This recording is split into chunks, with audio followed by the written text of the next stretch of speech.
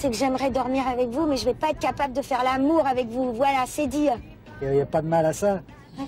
Eh oui, enfin d'un autre côté, si moi je peux m'endormir à côté de vous sans vous toucher, est-ce que c'est pas un peu vexant vous, allez supporter Tu pentes Pas du tout. Menteur.